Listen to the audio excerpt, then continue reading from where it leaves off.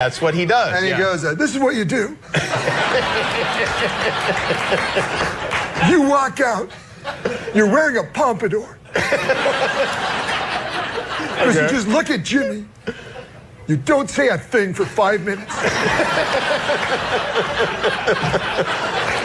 This is why we never invite him back anymore. He says, Let me ask you a question. It's fourth down and one. You're at the one yard line. You have the choice. You can head it to O.J. Simpson, Jim Brown, or Emmitt Smith. I'd go with Rosie O'Donnell.